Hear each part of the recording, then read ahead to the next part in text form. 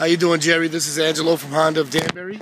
We wanted to give you a closer look at the 2008 Honda Odyssey Touring Edition that we took it on trade-in recently.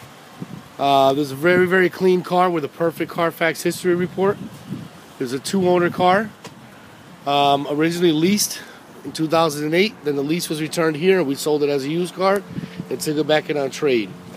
In 2008, the Touring Edition was the only model that to give you both DVD and touchscreen voice-activated navigation. Also, it gave you the uh, rear parking sensors and front parking sensors.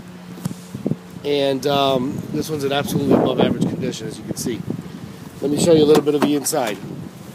Power sliding doors with a power tailgate as well. Here's the third row. Leather's in beautiful condition.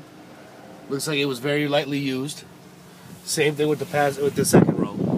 Also, while we had it, gave us the all-season floor mats. We have the wireless headphones for the um, the DVD system. And here's the fronts. Also, the uh, Touring Odyssey gave you the seat memories, and the keys were designated uh, driver one and driver two. All right, as you can see there. All right.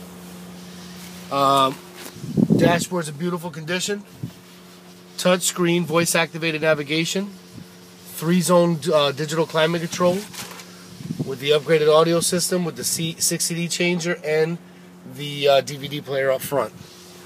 Audio controls, cruise control, and voice activation on the steering wheel.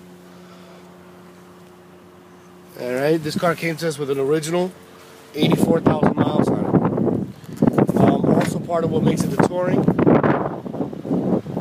that um, it's the only vehicle to have respond to over 700 voice commands in three different languages. Uh, the person who had it previously also added the roof rack and the exclusive 17 inch package. That's for the. And also the front parking sensors.